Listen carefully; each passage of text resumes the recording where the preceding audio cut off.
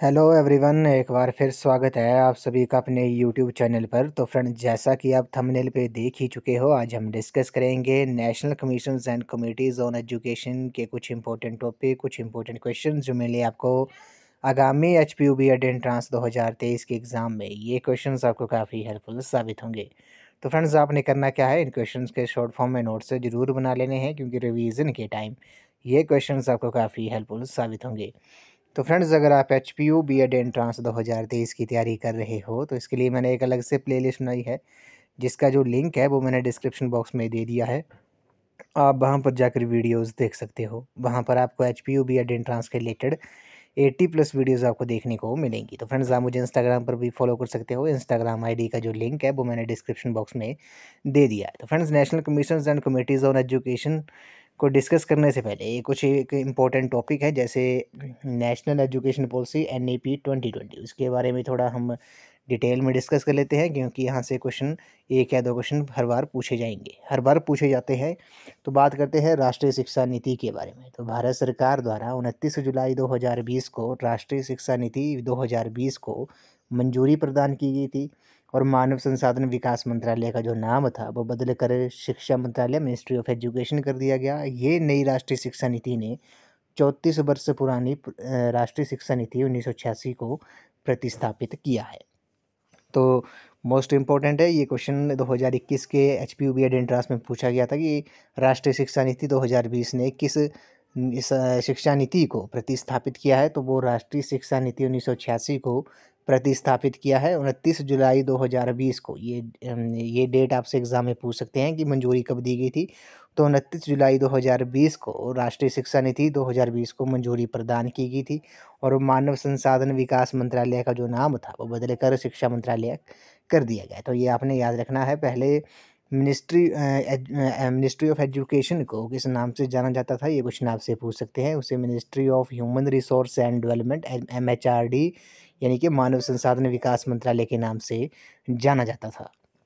अब बात करते हैं, उल्लेखनीय है कि इस नई शिक्षा नीति, N E P twenty twenty के निर्माण के लिए जून 2017 में पूर्व इसरो प्रमुख डॉक्टर के एस कस्तूरी रंगन की अध्यक्षता में एक समिति का गठन किया गया था। इस समिति ने मई 2019 में राष्ट्रीय शिक्षा नीति का मसौदा जो था वो प्रस्तुत किया था, जिसे उनतीस जुलाई 2020 को स्वीकृति मिली थी। तो ये आपने याद रखना है। नई शिक्षा नीति के निर्माण के लिए जून 2017 में पूर्व इसरो प्रमुख पूर्व इसरो के चेयरमैन जो थे, इसरो आपको पता है, जीके में पूछ सकते हैं। इसरो का जो हेडक्वार्टर है Indian space research and organisation का जो हेडक्वार्टर है, वो कहाँ पर है? वो बेंगलुरु में है। उसके पूर्व जो चेयरमैन थे, डॉक्टर के कस्तूरी रंगन की अध्यक्षता में एक समिति का गठन किया गया था। इस समिति ने मई 2019 में राष्ट्रीय शिक्षा नीति का मसौदा प्रस्तुत किया था, जिसे उनतीस जुलाई 2020 को स्वीकृति मिली थी। तो ये आपसे एग्ज़ाम में पूछ सकते हैं कि एन ई ट्वेंटी को स्वीकृति कब मिली थी? गवर्नमेंट ऑफ़ इंडिया से तो उनतीस जुलाई 2020 को मिली थी, ये आपने नोट डाउन कर लेना है। इस प्रकार भारत में अब तक तीन राष्ट्रीय शिक्षा नीति को लाया गया है। राष्ट्रीय शिक्षा नीति उन्नीस सौ अड़सठ, उन्नीस सौ छियासी और 2020 तो राष्ट्रीय शिक्षा नीति 2020 में जैसे शामिल महत्वपूर्ण प्रावधान कौन कौन से हैं, ये आपको पता होगा। सबसे पहले तो आपको पता होना चाहिए कि N E P twenty twenty का, N E P twenty twenty का जो पैटर्न है, वो क्या है? वो five plus three plus three plus four है। तो ये आपने नोट कर लेना है। मोस्ट इंपॉर्टेंट है। क्वेश्चन पूछ लिया जाएगा कि N E P twenty twenty का जो पैटर्न है, वो क्या है? इससे पहले national education policy N E P nineteen eighty six उन्नीस सौ छियासी का जो पैटर्न था, वो ten plus two plus three था। तो ये भी आपको पता होना चाहिए। Ten plus two plus three था N E P nineteen eighty six का। अब जो है वो N E P twenty twenty का वो five plus three plus three plus four है।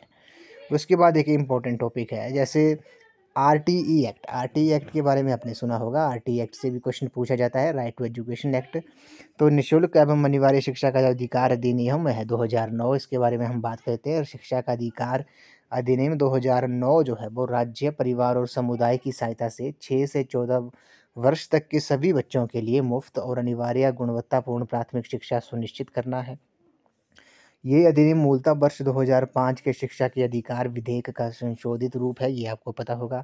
उसी तरह वर्ष 2002 में संविधान के छियासीवें संशोधन द्वारा अनुच्छेद 21 ए के भाग तीन के माध्यम से 6 से 14 वर्ष तक के सभी बच्चों को मुफ़्त और अनिवार्य शिक्षा उपलब्ध कराने का प्रावधान किया गया था। तो ये आपने याद रखना है, आर एक्ट जो है वो क्या कहता है कि छः से चौदह वर्ष के तक के सभी बच्चों को निःशुल्क और अनिवार्य शिक्षा जो है वो प्रदान करना है, सुनिश्चित करना है, इसको प्रभावी बनाने के लिए 4 अगस्त 2009 को लोकसभा में ये अधिनियम जो था वो पारित किया गया था और 1 अप्रैल 2010 से पूरे देश में लागू हो गया था। तो ये आपने याद रखना है, आरटी जो एक्ट था इसे इफ़ेक्टिव बनाने के लिए, प्रभावी बनाने के लिए 4 अगस्त 2009 को लोकसभा में ये अधिनियम पारित किया गया था और एक अप्रैल 2010 से पूरे देश में ये लागू हो गया था। तो ये आपने याद रखना है।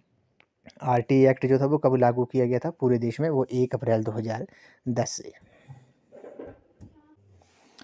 अब हम बात करते हैं कमीशन कमेटियाँ जो शिक्षा से संबंधित थी। सबसे पहले बात करते हैं स्वतंत्रता से पूर्व।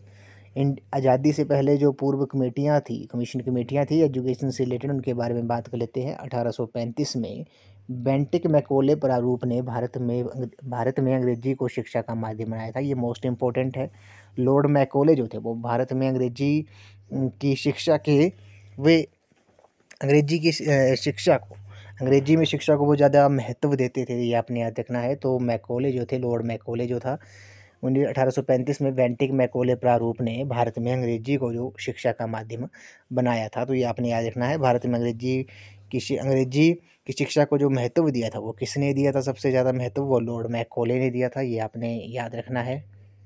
और लॉर्ड मैकोले ने कहा था, एक स्टेटमेंट आपने याद रखनी है कि मैकोले ने कहा था कि जनसाधारण को शिक्षित शिक्षित करना असंभव है, परंतु अंग्रेज़ी शिक्षा के द्वारा भारतीयों के एक ऐसे वर्ग को शिक्षित करना संभव है जो रंग, रूप और रक्त से तो भारतीय हो, परंतु रुचियों, विचारों, नैतिकता और बुद्धि से अंग्रेज़ हो और वे शिक्षा धीरे धीरे जनसाधारण तक पहुंचानी है। तो ये आपने याद रखना है, ये मैकोले ने कहा था। उसके बाद हम बात करते हैं बुड्स डिस्पैच के बारे में। बुड डिस्पैच जो था वो अठारह सौ चौवन में आया था। ये जो है काफ़ी इंपॉर्टेंट क्वेश्चन है। तो वो डिस्पैच जो था वो अठारह सौ चौवन में आया था। इस आदेश पत्र की डिस्पैच की जो प्रमुख सिफारिशें थी, वो क्या थी? वो थी कि भारतीयों की शिक्षा का उत्तरदायित्व सरकार ने स्वीकार किया। श्री वुड ने संस्कृत, अरबी और फारसी की उपयोगिता को पहचाना, परंतु अनुदेशन माध्यम के रूप में अंग्रेज़ी की संस्तुति की थी, सिफारिश की थी। तो ये आपने याद रखना है। उसी तरह नेक्स्ट जो है हंटर आयोग, इसे पहला आपको पता होगा, इसे इंडियन एजुकेशन कमीशन के नाम से भी जाना जाता है। कब आया था? अठारह बयासी में आया था। ये आपने याद रखना है, भारतीय शिक्षा आयोग। क्वेश्चन आपसे पूछ सकते हैं कि भारतीय शिक्षा आयोग को और किस नाम से जाना जाता है? तो आपको पता है, इसे हंटर कमीशन के नाम से जाना जाता है। इसके बारे में थोड़ा डिटेल में डिस्कस कर लेते हैं। लॉर्ड रिपन ने तीन फरवरी अठारह सौ बयासी को विलियम हंटर की अध्यक्षता में भारतीय शिक्षा आयोग नियुक्त किया था। इस आयोग को मुख्यतः हंटर आयोग के नाम से जाना जाता है। आयोग में बीस सदस्य थे उनमें से कुछ भारतीय थे, जैसे सैयद मह महमूद हो गए, हाजी गुलाम हो गए, आनंद मोहन वसी, पी रंगानंद मुदालियर हो गए, महाराजा जितेंद्र चौहान। महाराजा जितेंद्र चौहान, टैगोर, भूदेव मुखर्जी के टी तैलंग हो गए बी एल राइस हो गए और डॉक्टर मिलेर हो गए। तो ये आयोग के कुछ भारतीय सदस्य थे, ये आपने याद रखना है। भारतीय शिक्षा आयोग इंडियन एजुकेशन कमीशन को और किस नाम से जाना जाता है? हंटर कमीशन के नाम से जाना जाता है। तीन फरवरी अठारह सौ बयासी को इसकी नियुक्ति की गई थी तो ये आपने याद रखना है। हंटर आयोग के जो मुख्य उद्देश्य थे, वो थी कि हंटर आयोग की नियुक्ति मुख्यतः अठारह सौ चौवन से लेकर भारत में शिक्षा प्रगति का पुनरावलोकन करना तथा सुधार के सुझाव देना था, ये आपने याद रखना है।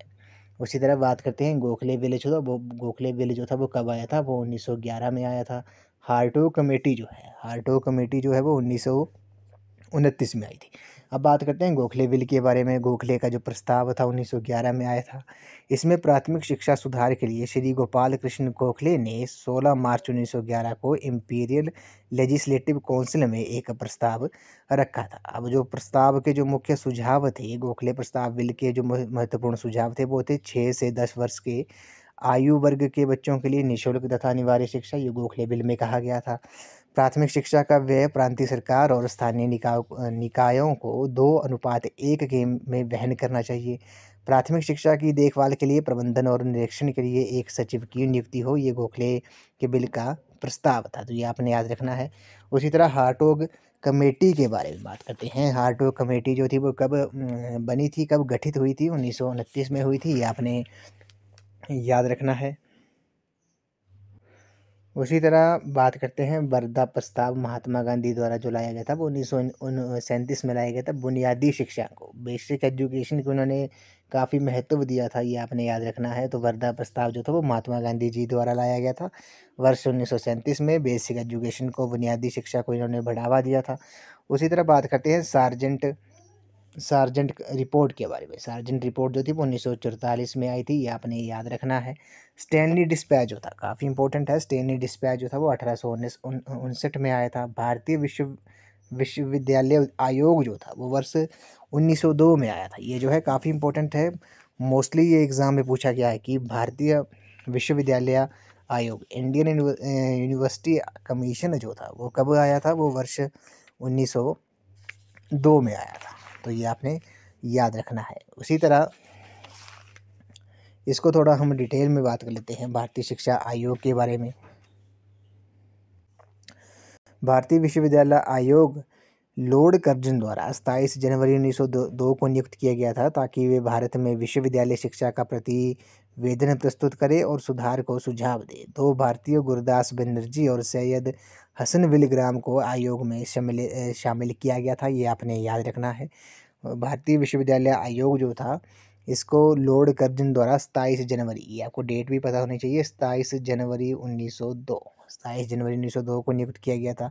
ताकि वे भारत में विश्वविद्यालय शिक्षा का प्रतिवेदन प्रस्तुत करें और सुधार को सुझाव दे। दो भारतीय गुरदास बनर्जी और सैयद हसन बिलग्राम को आयोग में शामिल किया गया। इसकी जो, इस आयोग की जो सिफारिशें थी, वो क्या थी? कोई नया विश्वविद्यालय स्थापित ना किया जाए। वर्तमान विश्वविद्यालय बम्बई कलकत्ता, मद्रास, इलाहाबाद तथा पंजाब को शिक्षा संस्थाओं के रूप में पुनर्गठित किया जाए। बीए का कोर्स बढ़ाकर तीन वर्ष किया जाए और इंटरमीडिएट को उड़ा दिया जाए। ये जो थी वो भारतीय विश्वविद्यालय आयोग की कुछ सिफारिशें थी। उसके बाद हम बात करते हैं कलकत्ता विश्वविद्यालय के बारे में, जिसे सैंडलर आयोग के नाम से भी जाना जाता है। मोस्ट इम्पोर्टेंट है। तो कलकत्ता विश्वविद्यालय आयोग जो था, कलकत्ता यूनिवर्सिटी कमीशन को, और किस नाम से जाना जाता है? इसे सैंडलर आयोग के नाम से जाना जाता है। वर्ष उन्नीस सौ सत्रह में ये आया था। अब इसको थोड़ा हम डिटेल में डिस्कस लेते हैं। चौदह सितंबर 1917 को कलकत्ता विश्वविद्यालय आयोग, जिसको सैंडलर आयोग के नाम से भी जाना जाता है, की नियुक्ति जो थी, वो भारत सरकार द्वारा लीड विश्वविद्यालय के उप कुलपति माइकल सैंडलर की अध्यक्षता में की गई थी। सर आशुतोष मुखर्जी, डॉक्टर जियाउद्दीन अहमद और प्रोफेसर राम से मयूर अन्य जो थे, वो भारतीय सदस्य थे। तो ये आपने याद रखना है। तो कलकत्ता विश्वविद्यालय आयोग को किस नाम से जाना जाता है? उसे सैंडलर आयोग के नाम से भी जाना जाता है। उसी तरह बात करते हैं हम सप्रू कमेटी के बारे में। सप्रू कमेटी जो है कई बार पूछी गई है। सप्रू कमेटी गठित हुई थी उन्नीस सौ चौंतीस में। उसी तरह एबट बुड रिपोर्ट जो थी वो उन्नीस सौ सैंतीस में आई थी। अब बात करते हैं स्वतंत्रता के बाद जो भारत में कमीशन और कमेटियाँ आई थी, एजुकेशन से रिलेटेड वो कौन कौन सी थी? ताराचंद कमेटी आई थी सबसे पहले उन्नीस सौ अड़तालीस में। ये आपने याद रखना है। उसी तरह विश्वविद्यालय शिक्षा आयोग, यूनिवर्सिटी एजुकेशन कमीशन जो था, जिसे राधा कृष्णन आयोग के नाम से भी जाना जाता है, ये कब आया था? 1948 में आया था। तो ये आपने याद रखना है। राधा कृष्णन आयोग और को और किस नाम से जाना जाता है, ये आपने याद रखना है। इसे यूनिवर्सिटी एजुकेशन कमीशन के नाम से भी जाना जाता है। तो मोस्ट इम्पोर्टेंट है। इसके बारे में थोड़ा डिटेल में डिस्कस कर लेते हैं। विश्वविद्यालय शिक्षा आयोग का जो गठन था, वो बनारस हिंदू विश्वविद्यालय के पूर्व उपकुलपति व भारत के दूसरे राष्ट्रपति और पहले उपराष्ट्रपति डॉक्टर सर्वपल्ली राधाकृष्णन की अध्यक्षता में हुआ था। इस आयोग का उद्घाटन जो था, वो तत्कालीन शिक्षा मंत्री श्री अबुल कलाम आज़ाद के द्वारा 6 दिसंबर उन्नीस सौ अड़तालीस को किया गया था। इस आयोग के जो सदस्य थे, वो कौन कौन थे? वो doctor Tarachand, doctor Zakir Hussain, doctor A. Lakshman Swami Mudaliar doctor Arthur, sir James, doctor Meghnad Saha हो गए, डॉक्टर कर्म नारायण बहल हो गए, डॉक्टर जॉन जे. टिग्रैट हो गए और श्री एन के सिद्धांता जो थे वो सचिव थे, सेक्रेटरी थे, ये आपने याद रखना है। तो डॉक्टर राधाकृष्णन आयोग को और किस नाम से जाना जाता है? विश्वविद्यालय शिक्षा आयोग के नाम से, यूनिवर्सिटी एजुकेशन कमीशन के नाम से जाना जाता है। उसके बाद हम बात करते हैं दुर्गा भाई देशमुख कमेटी जो थी, वो कब आई थी? वो वर्ष उन्नीस सौ अठावन में आई थी। महिला शिक्षा के ऊपर इन्होंने अधिक बल दिया था, ये आपने याद रखना है। मेन इनका जो फोकस था, वो किस पे था?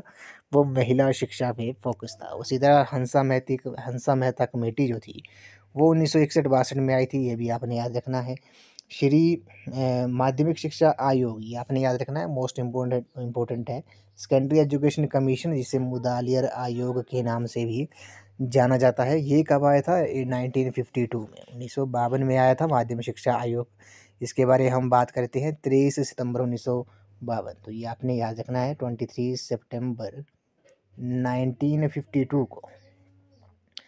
ट्वेंटी थ्री सितंबर उन्नीस सौ बावन को भारत सरकार ने डॉक्टर ए लक्ष्मण स्वामी मुदालियर उप कुलपति थे। वे मद्रास विश्वविद्यालय की अध्यक्षता में माध्यमिक शिक्षा आयोग की नियुक्ति की थी। आयोग ने उनतीस अगस्त उन्नीस सौ तिरपन को अपना प्रतिवेदन प्रस्तुत किया था।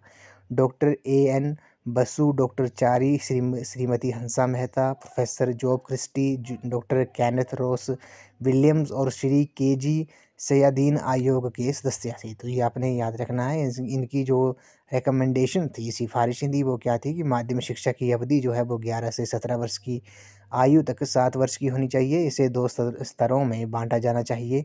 तीन स्तर का तीन वर्ष का माध्यमिक माध्यमिक स्तर हो गया और दूसरा उच्च, उच्चतर माध्यमिक स्तर चार वर्ष का। तो ये इनकी मुख्य सिफारिशें थी। ये कब आया था मुदाली आयोग? इसे तेईस सितंबर 1952 को आया था। इसे सेकेंडरी एजुकेशन कमीशन के नाम से भी जाना जाता है। उसके बाद हम बात करते हैं कोठारी कमीशन के बारे में, जिसे भारतीय शिक्षा आयोग, इंडियन एजुकेशन कमीशन के नाम से जाना जाता है, उन्नीस सौ उन्नीस सौ छियासठ में आया था ये। कोठारी आयोग जो था, कोठारी आयोग के जो चेयरमैन थे, वो कौन थे? वो डॉक्टर डी एस कोठारी थे। तो अब इसके बारे में हम थोड़ा डिटेल में डिस्कस कर लेते हैं। तो इसे कोठारी कमीशन को और किस नाम से जाना जाता है? इंडियन एजुकेशन कमीशन, भारतीय शिक्षा आयोग के नाम से जाना जाता है। तो आपको पता है, चौदह जुलाई उन्नीस सौ चौंसठ को भारत सरकार द्वारा doctor D S Kothari, Daulat Singh Kothari की अध्यक्षता में भारतीय शिक्षा आयोग की नियुक्ति की गई थी। आयोग ने अपना प्रतिवेदन जो था, वह उनतीस जून उन्नीस सौ छियासठ को प्रस्तुत किया था। प्रतिवेदन का मतलब होता है, उसने अपनी रिपोर्ट कब सबमिट की थी? वो रिपोर्ट जो थी, वो सबमिट की थी उनतीस जून उन्नीस सौ छियासठ को। उनतीस जून उन्नीस सौ छियासठ को इसने रिपोर्ट सबमिट की थी। चौदह जुलाई उन्नीस ये भी आपने याद रखना है, चौदह जुलाई उन्नीस सौ चौंसठ को इसकी, इसको गठित किया गया था, कोठारी कमीशन को। और स्कूल पाठ्य में सुधार संबंधी जो सिफारिशें थी, वो क्या क्या थी? कोठारी कमीशन ने पाठ्यक्रम के संबंध में बहुमूल्य संस्तुतियाँ की थी सिफारिशें की थी। कार्यानुभव, समाज सेवा, शारीरिक शिक्षा, विज्ञान शिक्षा, शारीरिक श्रम, नैतिक और आध्यात्मिक मूल्यों की शिक्षा और पाठ्यक्रम में विविधता की आयोग ने सिफारिश की थी ये आपने याद रखना है। उन्होंने कहा था कि हिंदी भाषी भाषी क्षेत्रों के लिए मातृभाषा या प्रादेशिक भाषा अंग्रेज़ी या हिंदी होनी चाहिए। तो ये आपने याद रखना है, कोठारी कमीशन ने क्या किया था? कोठारी कमीशन ने मातृभाषा और या प्रादेशिक भाषा को, मातृभाषा को उन्होंने काफ़ी बढ़ावा दिया था ये आपने याद रखना है। उन्होंने कहा था कि निम्न स्तर माध्यमिक शिक्षा के उद्देश्य कक्षा आठ से दस तक तीन भाषाएँ होनी चाहिए। कौन कौन सी? मातृभाषा या प्रादेशिक भाषा? हिंदी व अंग्रेज़ी। तीन त्रिभाषीय सूत्र का जो फॉर्मूला था, ये आपने याद रखना है, वो किसने दिया था? वो कोठारी कमीशन ने दिया था। मातृभाषा को उन्होंने काफ़ी महत्व दिया था, बढ़ावा दिया था। तो ये आपने याद रखना है। अब कुछ इंपॉर्टेंट वन लाइनर क्वेश्चन है जो एजुकेशन से रिलेटेड है, आपसे पूछ सकते हैं। अन्य महत्वपूर्ण संस्थान जो है, विश्वविद्यालय स्कूल कार्यक्रम, यहाँ से क्वेश्चन पूछा जाता है। जैसे विश्व का जो पहला विश्वविद्यालय है, वो कौन सा है? वो तक्षशिला है। किस कंट्री में है? पाकिस्तान में ये वर्ल्ड का फ़र्स्ट यूनिवर्सिटी है। नालंदा विश्वविद्यालय जो है, वो कहाँ पर है? वो बिहार स्टेट में है। ये आपने याद रखना है। उसी तरह बैतालीसवें संविधान संशोधन उन्नीस सौ छिहत्तर द्वारा शिक्षा को संवर्ती सूची में शामिल किया गया है कनकरेंट लिस्ट में। ये आपने याद रखना है, भारत का पहला IIT Indian institute of technology जो है वो खड़गपुर में, पहला खड़गपुर में है। एनसीईआरटी की जो स्थापना थी वो कब हुई थी? वो एक सितंबर उन्नीस सौ इकसठ को हुई थी मोस्ट इम्पोर्टेंट है।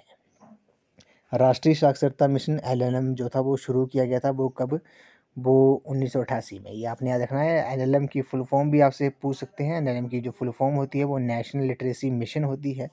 ये इसकी शुरुआत कब की गई थी? उन्नीस सौ अट्ठासी में की गई थी। ये आपने याद रखना है। यूजीसी की बात करते हैं, यूनिवर्सिटी ग्रांट कमीशन के बारे में। विश्वविद्यालय अनुदान आयोग जो गठित किया गया था उन्नीस सौ छप्पन में। नेशनल करिकुलम फ्रेमवर्क लागू हुआ था 2005 में। सर्व शिक्षा अभियान जो था, वो शुरू किया गया था कब? 2000 2001 में ये सर्व शिक्षा अभियान, जिसे एसएसए के नाम से भी जाना जाता है। एसएसए की फुल फॉर्म भी आपसे पूछ सकते हैं तो एसएसए की फुल फॉर्म होती है सर्व शिक्षा अभियान। बीएचयू, बनारस हिंदू विश्वविद्यालय की जो स्थापना थी, वो 1915 में मदन मोहन मालवीय ने की थी। ये आपको पता होगा। अठारह सौ सतावन में भारत के प्रथम तीन विश्वविद्यालय कौन कौन से थे? कलकत्ता, मुंबई, मद्रास में स्थापित हुए थे अठारह सौ सतावन में। ये भारत के प्रथम तीन विश्वविद्यालय। तो अगर आपसे क्वेश्चन पूछा जाता है कि भारत का जो पहला विश्वविद्यालय था, वो कौन था? तो वो आपने याद रखना है, कलकत्ता। कलकत्ता जो है भारत, कलकत्ता यूनिवर्सिटी जो थी, वो भारत की पहली यूनिवर्सिटी थी। उसी तरह पंतनगर में प्रथम कृषि विद्यालय 1960 में शुरू किया गया था। भारत के प्रथम शिक्षा मंत्री कौन थे? मौलाना अबुल कलाम आज़ाद थे। अभी प्रेजेंट में कौन है? भारत के शिक्षा मंत्री श्री धर्मेंद्र प्रधान हैं। हिमाचल के शिक्षा मंत्री कौन है? श्री रोहित ठाकुर हैं, ये भी आपने याद रखना है। मिड डे मील योजना जो थी, वो उन्नीस में शुरू की गई थी। कौन सी स्टेट है जिसने मिड डे मील योजना जो थी, वो सबसे पहले लागू की थी? तो वो तमिलनाडु थी। स्टार्ट किसने किया था सबसे पहले? तमिलनाडु स्टेट, ये आपने याद रखना है। उसी तरह केंद्रीय विद्यालय स्कूल जो थे, वो उन्नीस में शुरू किए गए थे, नवोदय स्कूल जो थे, वो उन्नीस सौ छियासी में शुरू किए गए थे।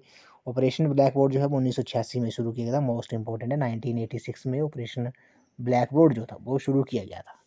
उसी तरह एन नेशनल ओपन स्कूल जो है, वो उन्नीस सौ नवासी में शुरू किया गया था। D P E P district primary education programme जो था, जिला प्राथमिक शिक्षा कार्यक्रम उन्नीस में शुरू किया गया था। IGNOU Indira Gandhi national open university जो है वो उन्नीस सौ पचासी में शुरू की गई थी, ये आपने याद रखना है। राष्ट्रीय प्रौढ़ शिक्षा कार्यक्रम जो होता है नेशनल एडल्ट एजुकेशन प्रोग्राम जो था वो उन्नीस सौ अठहत्तर में शुरू किया गया था। उसी तरह, अनुच्छेद 21 ए छः से चौदह वर्ष के बच्चों को निःशुल्क शिक्षा की व्यवस्था करता है, ये कौन कहता है? आर टी एक्ट कहता है। आर टी एक्ट जो था वो 2009 में आया था, लेकिन ये लागू कब किया गया था पूरे देश में?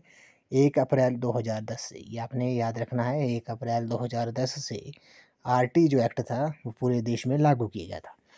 अनुच्छेद पैंतालीस कहता है कि छः वर्ष के तक के बच्चों को की पूर्व प्राथमिक शिक्षा जो है, वो शिक्षा से संबंधित है।